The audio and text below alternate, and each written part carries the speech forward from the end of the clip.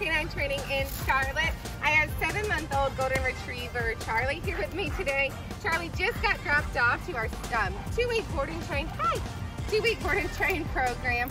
Some issues at home are jumping, um, doesn't come when called. If he's on the couch or in the room, he won't get off, um, kind of demanding. Um, the goal for him is to go into therapy work after we get this underlying obedience. Um, so let's go ahead and see what Charlie will do for us on day one. Hi.